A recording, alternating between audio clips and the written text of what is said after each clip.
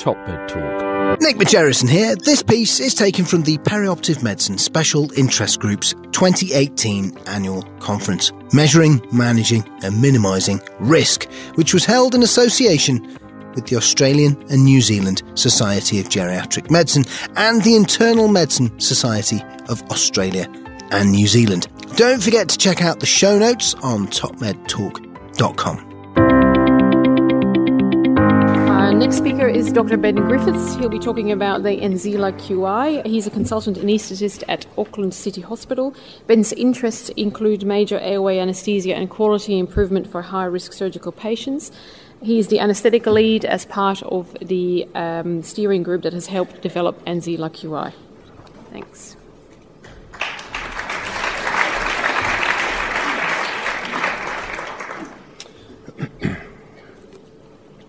Uh, thanks, Jill, for the kind introduction. Um, ladies and gentlemen, it's a pleasure and an honour to be here this afternoon um, and get a chance to update you on what is, I believe, a pretty exciting project for perioperative medicine and for Australasia.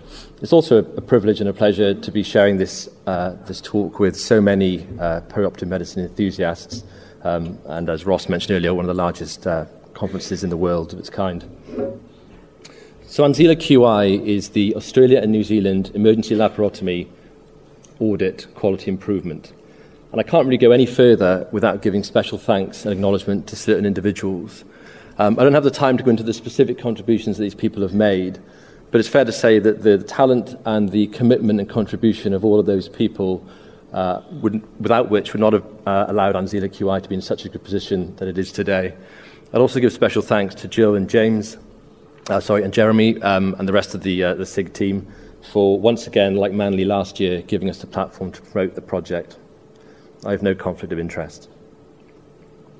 So the overview then is to first of all give you an update on the project, the background, the structure, the organisation, and the support. Uh, then um, ask ourselves, do we actually need such a project in Australasia?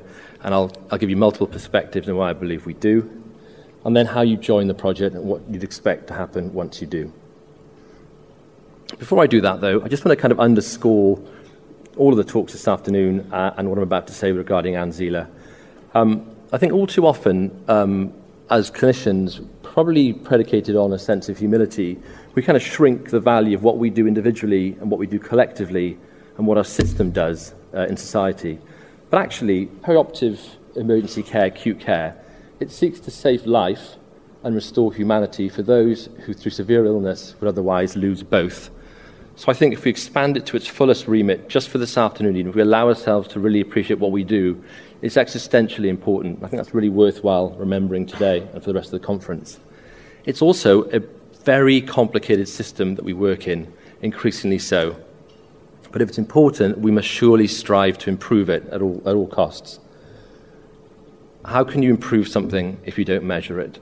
And that's what ANZELA QI proposes to do for these sorts of high risk operations and procedures. So, when we first started ANZELA QI about 15, 16 months ago, in its very sort of infant stages, we learned and borrowed heavily from the leaders of successful projects elsewhere, particularly the National Emergency Laparotomy Audit in the UK and the Emergency Laparotomy Collaborative that Carol's already mentioned. We had to come up with an agreed minimum data set, and we did. We worked really hard on that. We were advised very sternly by um, other leaders of other projects that you must minimize the data collection burden for individuals in hospitals. So, unlike NELA, which had about 120 data points to start with, we got it down to about 60. But despite that, we get all the key performance indicators we want to have for these patients. We also put a few things in that NELA didn't have. For example, we have the antibiotic timing for sepsis um, and other things that are pertinent specifically to Australia and New Zealand. So, for example, frailty scoring, we wanted to put in early, private sector, I'll come on to that in a second, into hospital transfers, and days alive and out of hospital at 90 days. Um, 15% of emergency laparotomies in Australia occur in a private institution, unlike the UK, where I believe none do. An into hospital transfer occurs for these patients in some 20% of occasions, whether it's before surgery or after. And we know there's good data out there to show that those who are transferred have considerably worse outcomes.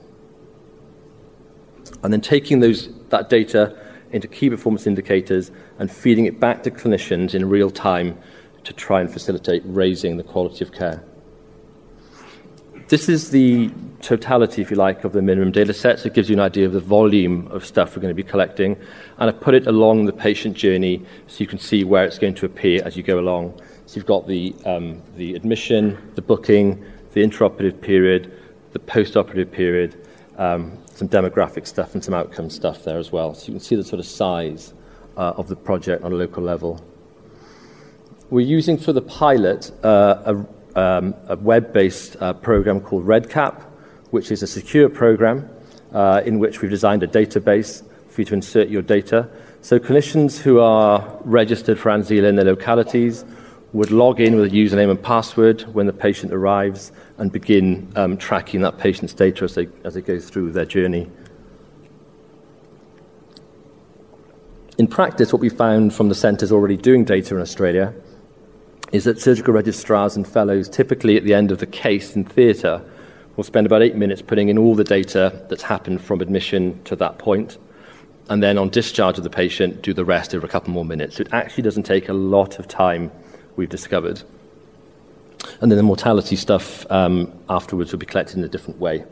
So there you can see a screenshot of the sort of interface that you'd be using in the hospital on your computer screen to, uh, to insert the ANZELA data.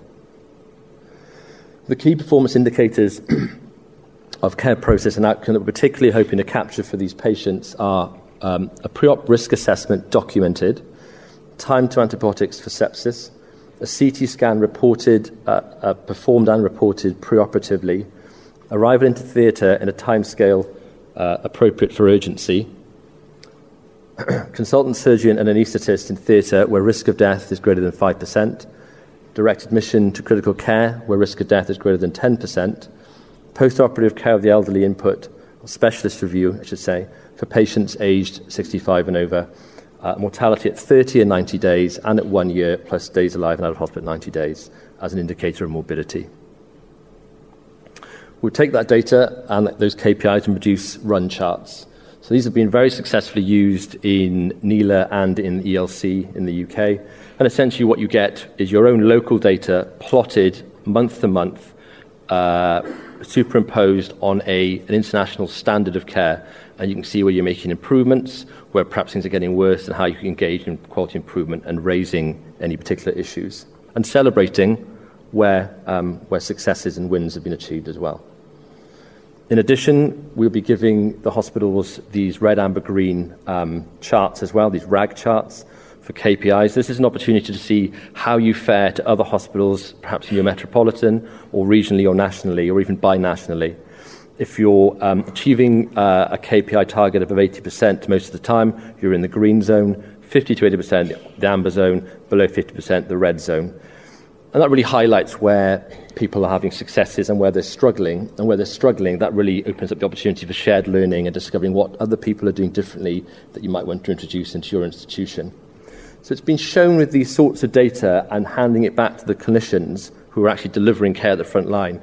You can support shared learning, you can, it enables engagement with clinicians within and across specialties, as well as across the country. Levers can be pulled, perhaps for the first time, in terms of resource allocation and development. Business cases can be supported by objective data and examples of successes elsewhere. And I, I, just have to sort of reiterate, really, that, that much of the structure um, and shape of how the project looks, um, it's very much a situation like this. You know, we have a lot of uh, thanks to give for people who've gone before us in other parts of the world and, uh, and done this uh, so successfully. The, excuse me, the structure of Anzila QI, then, um, first and foremost, it's a by college governed or owned project. And that's really important. So both the Royal Australasian College of Surgeons and the uh, Australian New Zealand College of Anaesthesia govern this project.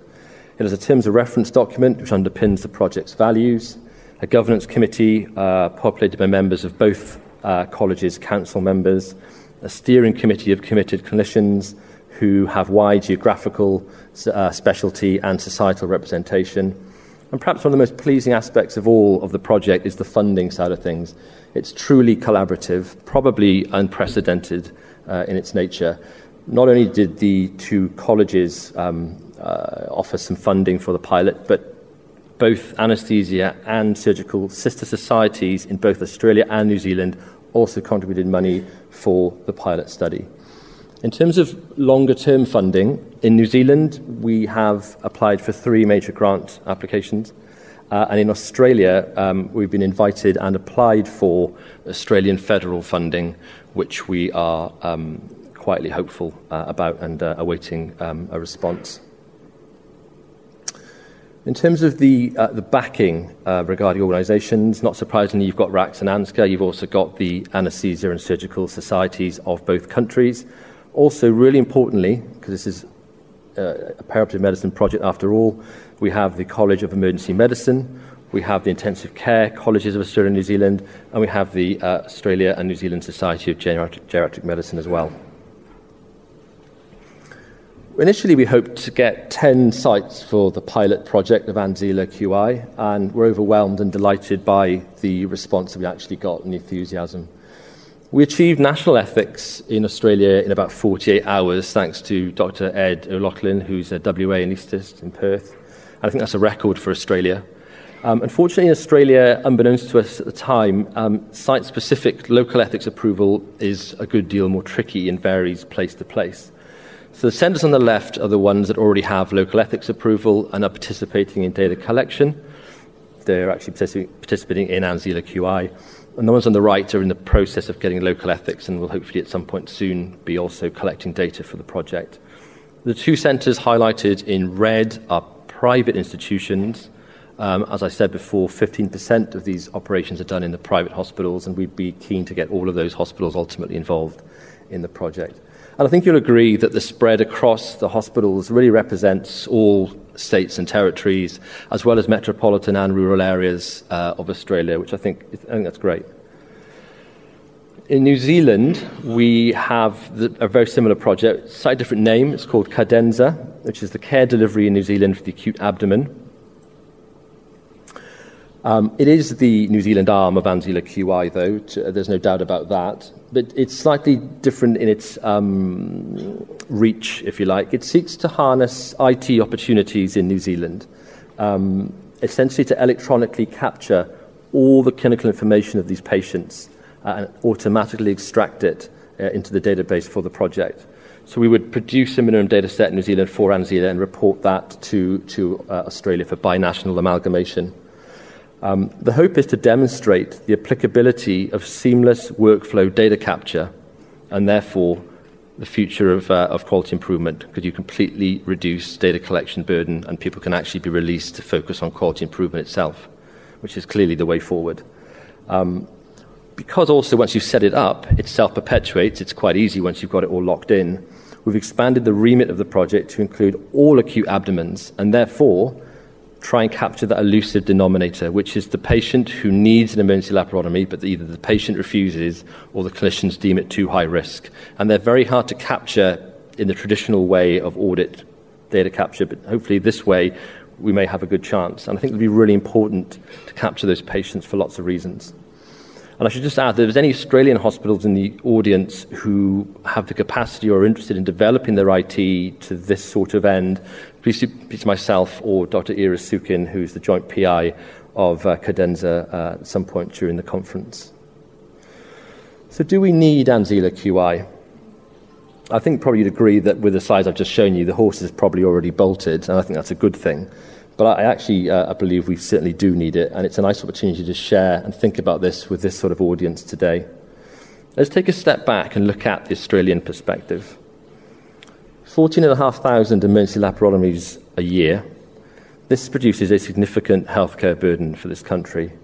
It's high cost, it's high risk of death, and survival is often associated with long term dependence and disability.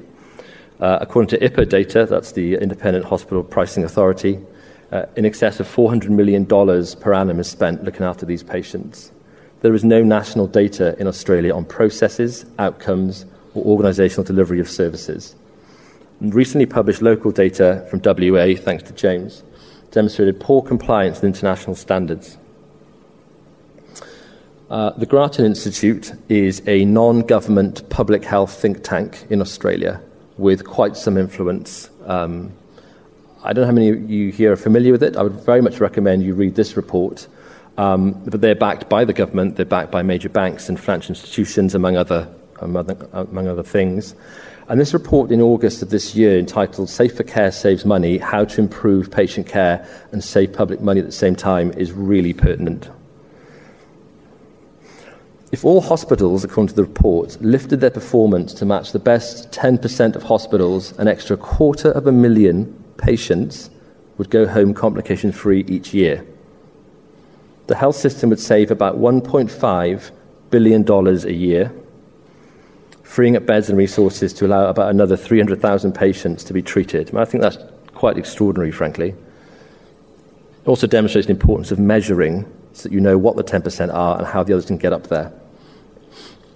They go on to say that current national hospital accreditation system has failed, and they cite many examples, but one that particularly stood out for me was that all hospitals, all hospitals that had a significant safety failure in the, in the last 10 or so years, and they were significant safety failures, pass accreditation with flying colours. Instead of compliance, it advocates accreditation would shift to outcomes and quality improvement transparency and official reporting in the public domain of complications and improvement or lack thereof. So I really feel that what ANZELA QI is postulating it can do or is trying to do fits beautifully with this uh, sort of remit. What about the impact of quality improvement projects internationally? Well, as we've heard from, uh, from Professor Carol Peden, several projects have delivered on what I would describe as the Holy Trinity lives saved, quality raised, cost reduced. Going back to NELA and the ELC, you're sick of these projects now. On the left hand side, you've got 30 day mortality. Both projects have reduced that over the three years that they've been running. We're waiting for the uh, fourth annual report of NELA, and if we believe uh, Michael and Carol with their fireworks uh, display, uh, it looks like it's good news. But, prior to that, 10% reduction in 30 day mortality and ELC 16%, and also a reduction in average length of stay from both projects. There's also been an almost universal improvement in care processes, um, a cost saving to the NHS of about $44 million a year. And because of all that, the NHS cash strap, cash strap as it must surely be, it's decided to fund the project for five more years. And I understand there's going to be greater engagement in quality improvement methodology from agency, further improvements down the line. It's really interesting. I think it was touched on earlier, but um, in terms of changes and what you see getting changed, clinical care changes quite rapidly because it's kind of down to individuals, really, and just individual willpower. So things like risk assessment and consultant presence, rapid changes, quite easy. Hospital processes, much slower, sometimes even unchanged. So things like access to theatre in a timely manner or, uh, or ICU access. This paper was published online earlier this month. It's from the NELA Group. It's looking at um, factors that are associated with a fall in mortality from emergency laparotomy surgery with respect to organization, hospital organizational resource things. So it looked at about 40,000 operations, and they found an odds ratio suggesting uh, improved survival with the presence of an acute surgical unit. It's interesting to hear Professor Michael Cox talking about when he set up, a single emergency laparotomy pathway. Almost half of these patients were over 70 and they had a 90 day mortality of 24%.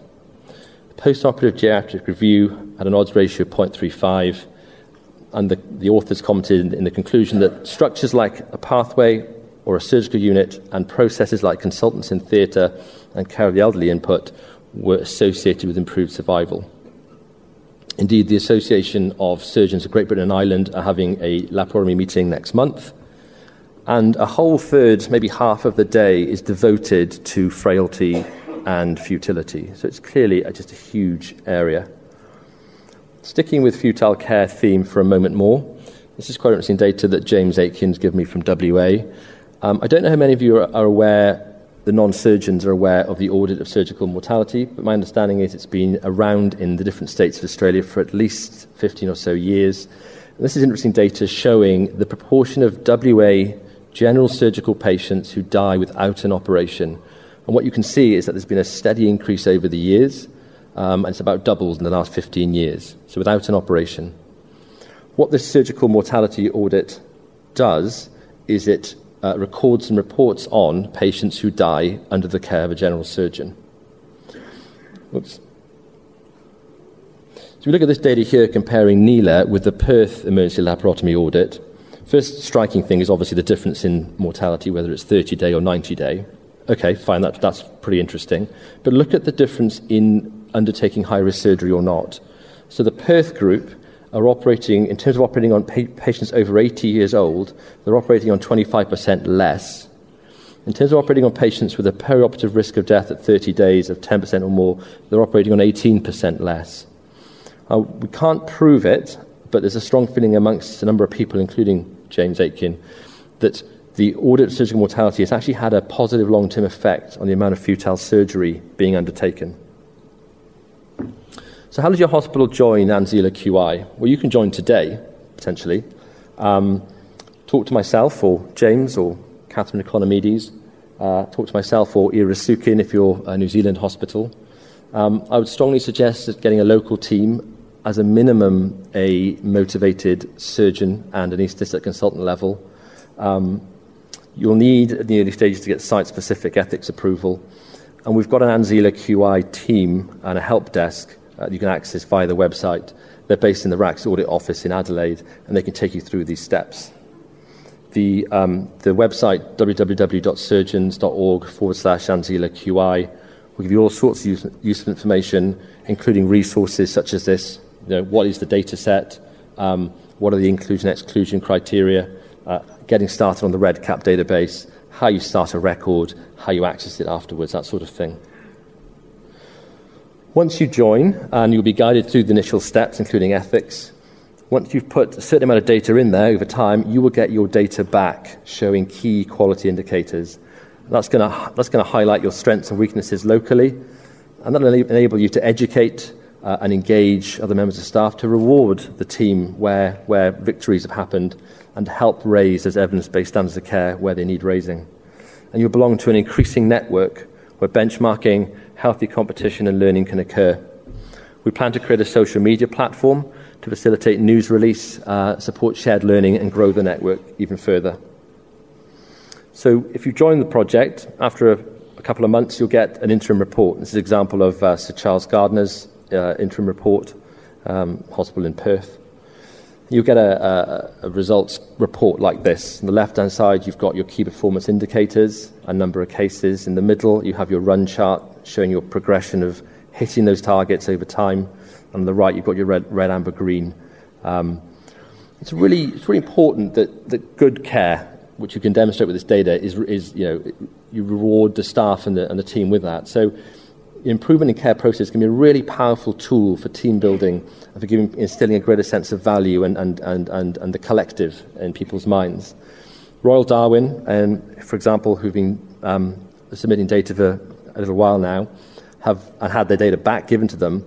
They, for example, one of the changes they've made is they've made it mandatory that a preoperative risk assessment is done. You cannot book a laparotomy until that is done, and that's a change they've made based on their data.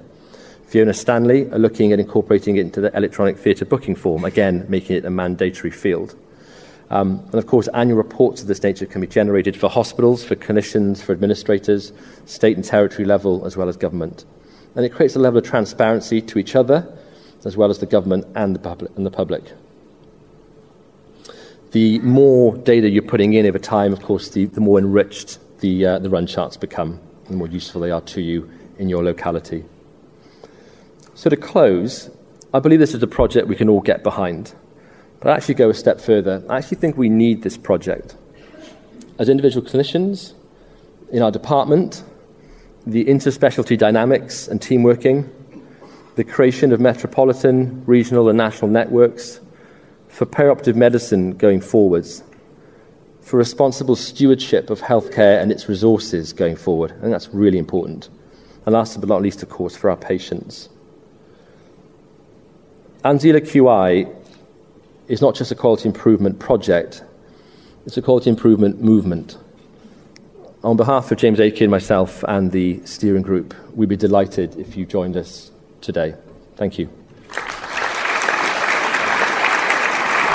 Lee Majerison here. Thanks for listening to Top Med Talk. Now, before we let you go, it's important that we remind you to subscribe to Top Med Talk. That way you'll never ever miss another episode.